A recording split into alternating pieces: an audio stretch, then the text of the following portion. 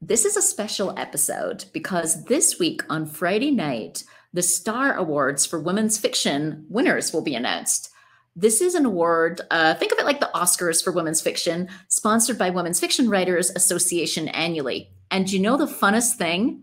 All six finalists, there's two categories debut and general, have been on this podcast, on the Best of Women's Fiction podcast, which means that I selected them as among the best in women's fiction. So I thought it would be really fun to go back and look at what each of the authors said about their books and also listen to their advice because they had some really juicy advice, these award winners.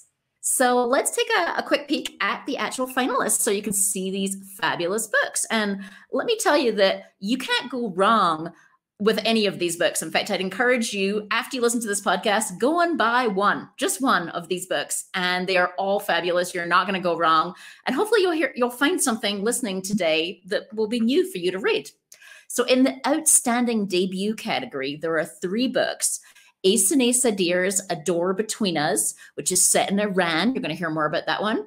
KD Allbaugh's Face Down in Rising Sun, which is historical fiction set in Wisconsin and Rebecca Hodge, Wildland, which is a fast paced book about outrunning a forest fire.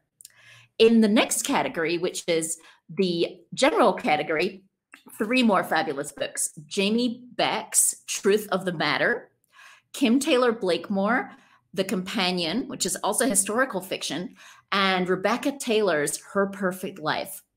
So let's get into it and hear about each of these books. I'm going to start with the category of outstanding debut novel. And first, let's hear from Ehsaneh Sadr about A Door Between Us and what inspired the book. A Door Between Us, it's set in Iran. It's mm-hmm. set after the 2009 elections, right? That's right. Tell us a little bit about the book. Yeah. Um, well, let's see. So the book it's set in 2009 Iran, right after a contested election. So it was actually, you know, some people have been drawing par- parallels to our present election. You know, you have an incumbent who's been in for a while. Um, and then you have a, a lot of excitement uh, surrounding, you know, the person who's the challenger. Um, and then the election happens, but the powers that be uh, very quickly announced that the incumbent president had won. And so, you know, all these people who had stood in line for hours and had gotten so excited and in this sense that it could that be right? And information that had come out that made it seem like, you know, no, you know, the, the election was going Mousavi's way. Um, there was just an outpouring of folks into the street. And so what my story does, it, uh, you know, kind of picks up on three people who are very different in, you know, who they are and their outlook on life um, and how they handle this ex- extremely dramatic situation of protests and then a really kind of scary um, police uh, you know, kind of putting them down. And so you have uh, Sarah, who's this very young newlywed and, you know, uh, just very innocent in terms of kind of how she thinks about, you know, life and, um, you know, the things that are most important to her or whatever. And then you've got um, Azar, who's really out there like fighting the good fight for democracy. She's risking a lot to kind of hold people accountable. Um, and then you have Sader, who is a very close with the paramilitary Basiji forces. Um, and so is kind of the type of person that you would think of as like, oh, he's like with the police. He's putting down the protesters. He's very loyal to the regime. But what happens uh, is he starts to have some really fundamental um, doubts about what's going on. So the inspiration, I heard you, I saw in an interview you were saying part of your inspiration was you hoped that we would never bomb Iran again. Tell me more about that. Absolutely. Yeah. I mean, so, you know, what I really wanted to do was create like a portal. There are not that many opportunities for Americans to travel to Iran. And even if they do get to travel to Iran, they're very unlikely to kind of get into the homes and the experiences of some of the most kind of religious conservative folks. And so those are people that are often very misunderstood and vilified in our mainstream culture. And I think it makes it very easy, you know, when you vilify a group of people to be a little more blase about like, well, you know, not trying kind of every, you know diplomatic effort before you kind of very easily or quickly kind of talk about you know taking military action. And you know for me it really also comes from i think for a lot of people who grow up either in a multicultural home or you know you're between two cultures or two different groups it could be democrats and you could have a democratic parent and a, a, republican parent you know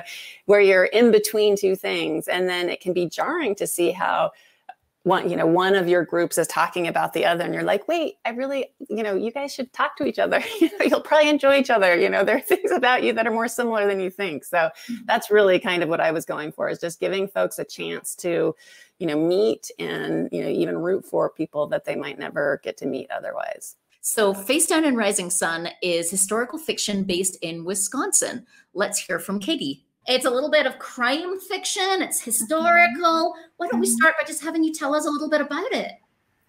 Well, there, there was this beautiful young girl, Clara, and the, the uh, setting is in 1920s 1925 26 um, grew up in southwestern wisconsin crawford county which is an absolutely beautiful setting um, and a large Norwegian family, and you know, just kind of a run of the mill uh, young lady, um, a wonderful character, but she was a real person, um, and she met a young man who was very dashing exciting everything she thought she wanted in life. She wanted to kind of leave this farm life and you know rural existence behind. She wanted some more excitement.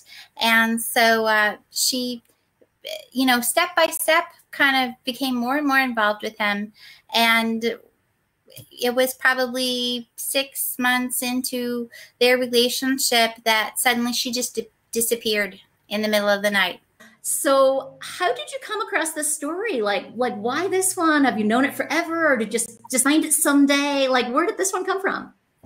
That's an excellent question because um, the business that my husband and I own, we visit local farms and things. We we do home inspections, and there were so many people in that area of uh, Crawford County, Wisconsin, that were like, well, you heard about what happened in Rising Sun, you know, kind of the local lore first and telling the story. And everybody has a little bit different version because it was, you know, it was a true story. Um, but there were so many things left unsaid. And because it's historical, you know, you have small pieces of it, but you don't have all of it. So I decided, you know, one day I was out there kind of doing this little um, basically tour of where she lived and, and where things happened.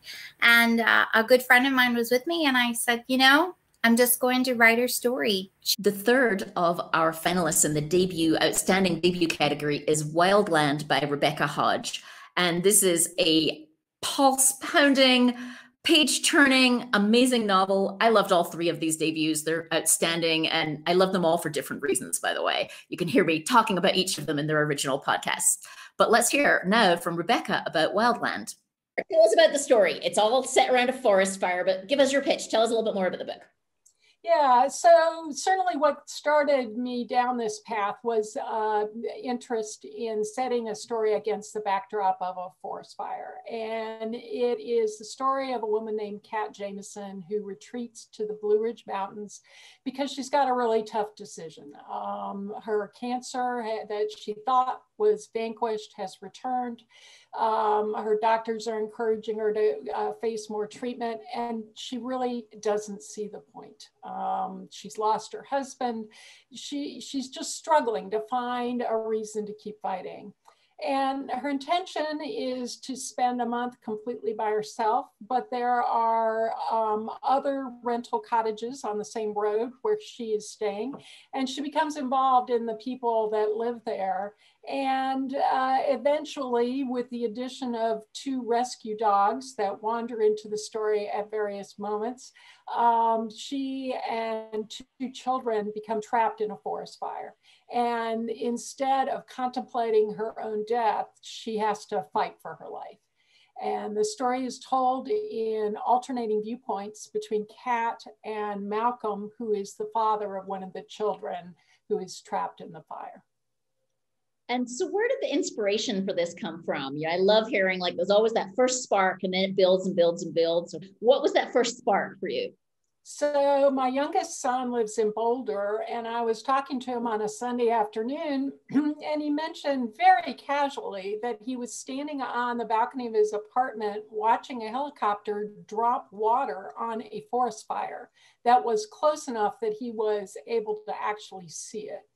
And so the mob part of my brain got a little bit freaked out, but the writer part of my brain started wondering what it would be like to set a story against that kind of backdrop. And uh, that that's what started it off. Next up, let's look at the three books that are in the general category, the three finalists. And if I haven't said it yet, out of all the hundreds of books that came out last year, thousands in the women's fiction category, it's amazing to get this far. So let's start with taking a quick peek at the three covers. You can see here Jamie's Truth of the Matter, Kim Taylor Blakemore, The Companion, and Rebecca Taylor, Her Perfect Life. I'd love to talk first about Jamie Beck's book, which is called Truth of the Matter. And here's a quick little snippet of a description of it. And this is from Barbara O'Neal, who is the amazingly best selling author. I mean, her writing is beautiful of When We Believed in Mermaids and several other bestsellers.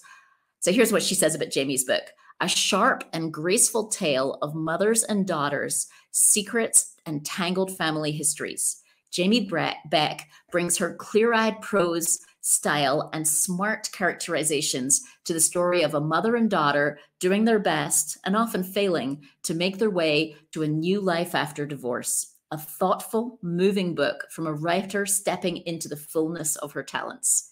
What a gorgeous thing to say.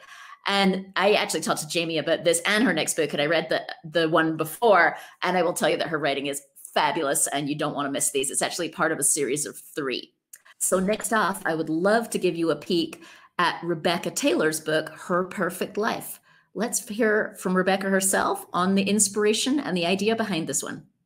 In the book, Claire, and she comes to be known as Claire Collins, is a sort of internationally best-selling, um, uber successful author in the world. And then her sister Eileen has a sort of much more kind of conventional existence. Um, she's, you know, the book kind of opens up with her and her three kids and trying to get them ready for school. And, you know, as a mother myself, just the, the, you know, the chaos that that can then often entail. And so um, it, it, really is this kind of uh, the different lives that these two sisters have led and and um, some of the jealousy that Eileen kind of feels for her very successful sister Claire. Well, that particular element of the story, the inspiration came from um, years ago, and I believe I believe it was the 2012 Summer Olympics, um, and Michael Phelps.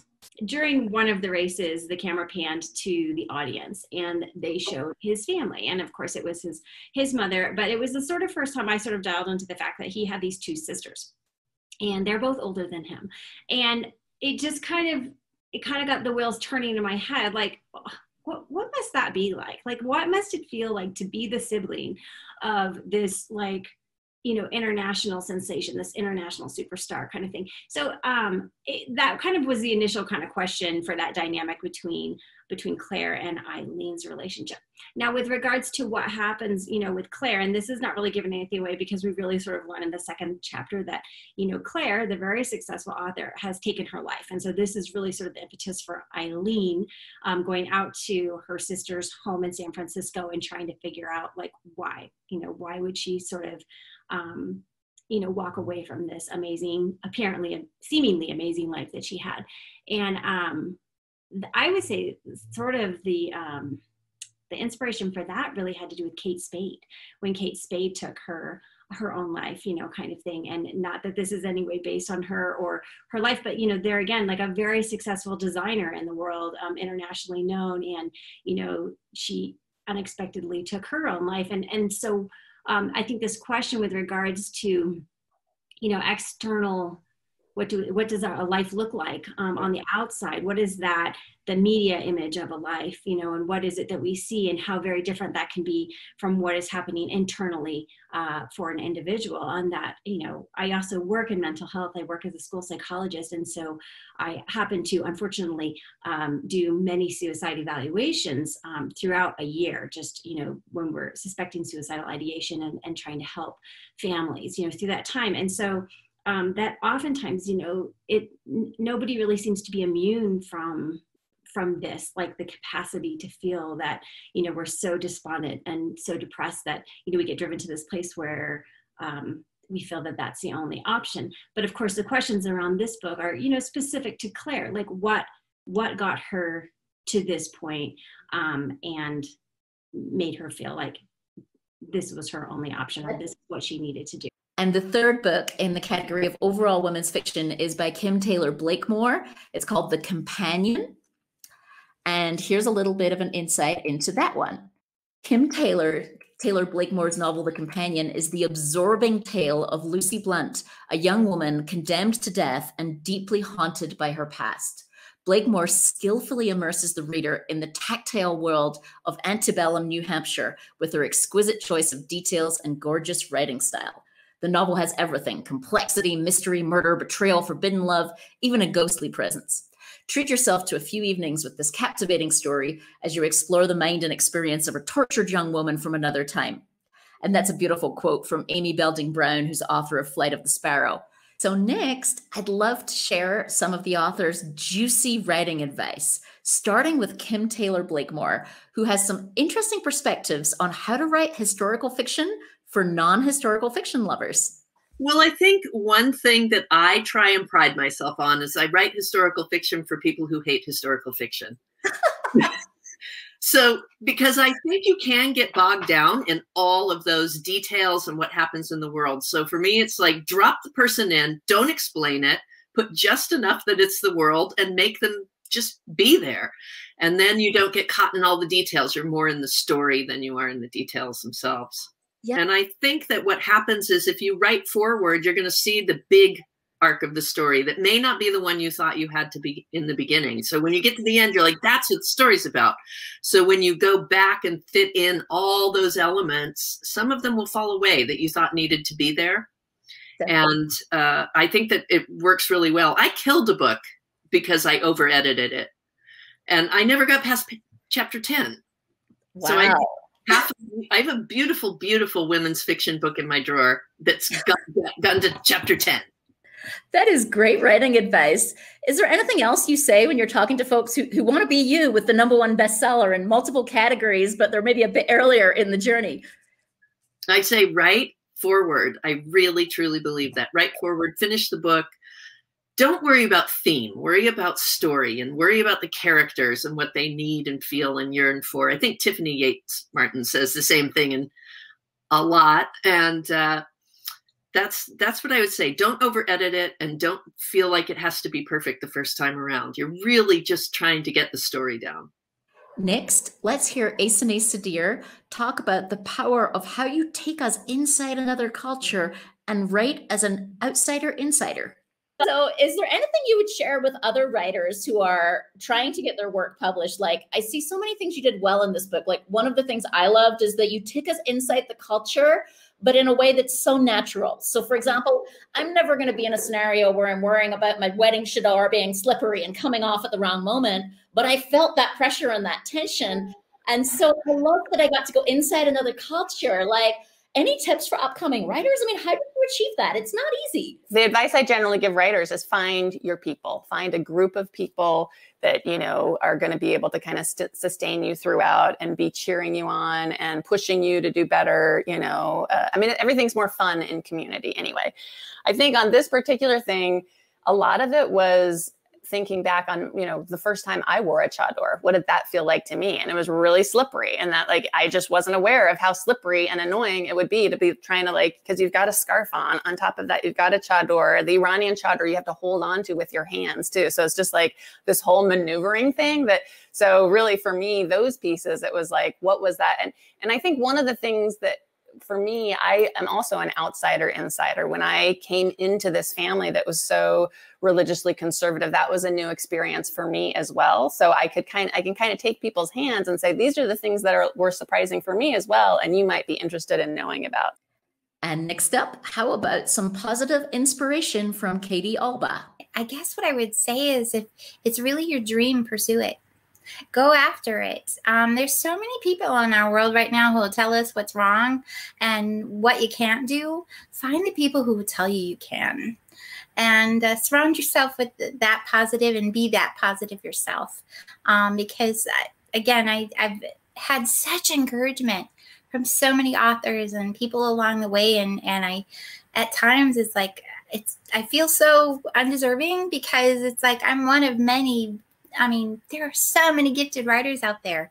So if you think you have that that novel, that debut novel in you, go ahead, write it. Next, let's hear Rebecca Hodge's thoughts on extending time to increase the tension in a book and also the importance of enjoying the journey. And one of the things that impressed me in this book is you do this thing that really skilled writers do where you extend time, right? So, like, mm-hmm. This story does not take place over years. It takes place pretty much the core of it over like hours, right? Within a 24 hour period. Yeah. And you're like on the edge of your seat minute by minute feeling like you're going through this experience of running from a fire and you've got the main character Kat and the two kids and the dogs i mean it's it's pretty amazing how you're able to stretch time out like that was that hard did it change a lot during editing it it definitely was a conscious decision that I knew I needed to do that. Um, I think that one of the big advantages writing has over visual media is that ability to play with time, to really um, skip 20 years easily or to take two minutes and stretch it out over 15 pages. And um, I think that, that that plus the ability to really get into a character's head are the two things that the written word can do better in most cases than, um, than film. And so I think it's good to take advantage of that. I think the important thing to focus on, especially when you're starting out, is making sure that you are enjoying the, the, the journey um, in writing, there is a limited number of things that you can control directly, and there is a huge number of things that are out of your control. Uh, you know, in, in a lot of jobs, um, the results that you get are directly impacted by how much you pour into it. And in writing, that's not always the case. And so while I would encourage people to be persistent, I would also encourage them to make sure that they're enjoying what they're doing doing. Lastly, Jamie Beck is going to take us home. In case you're not aware, Jamie's books have sold over 2 million copies. And I love, given that, that what she talks about is self doubt and resiliency and the importance of community. In this, she actually mentions Barbara. She means Barbara O'Neal, the author of When We Believe in Mermaids, who's also sold multiple millions of copies. Everybody struggles. Everybody struggles with self doubt, with um, process issues with books that aren't working and why. And and it's it's it's it's amazing. It's heartening to me because then i don't feel so alone. Um, and of course the writers who've been doing this longer have that perspective. They don't get quite as gummed up as some of us do because they're like oh it's it's it'll be okay. You know barbara has that real soft voice too. It's, it'll be okay. So it does help. um, you know tenacity is everything right? You just have to it's just a painful there's no there's no easy thing and there's no one level you're going to get to where all of a sudden you think oh finally i'm there. Like it, there's always uh, something more. And so you have to kind of like don't ever compare. Don't it's good to set like i like to set micro goals um, because then i feel like i'm accomplishing something. So whether it's just one scene today or the next book or you know if you have bigger goals you know just like realistic accomplishable goals help you feel um, like you're moving forward. And but i'd say as i've gotten older in the writing and barbara actually i'll bring her up again because she really helped me with this. Like she's a beautiful writer or my friend sonali dev she these beautiful writers that just have this way of painting their words and i admire it so much and i don't do that. That's just not my voice. And and i wanted so badly like to write like them. And barbara finally was like stop you know like lean into your own voice. Readers there's readers for every writer and every storytelling style every voice. Lean into your voice. Be authentic to you. It's the authenticity that will resonate and it kind of freed me up from not feeling so bad that I can't be as beautiful with my prose as some writers that I really admire. And it, it, it kind of allowed me then just to kind of go really hard at my very frank, quick style and and not feel guilty about it you know? So that was really helpful. So if that helps someone else feel good go for it uh, just knowing that that there's there are endless amounts of readers. There's literally millions and millions and millions of readers and someone else's success doesn't prevent your success. Someone else's popularity doesn't prevent yours. Um, someone else may have a completely different readership than you but it's fine. You know your whole point is you just hope that your story resonates with some people and it makes them feel good or feel something whatever the point of your book is. Uh, you hope that that works for me, what I try to do mostly is really appreciate all of the different people that I meet in this career at conferences, online, these kinds of conversations, these opportunities.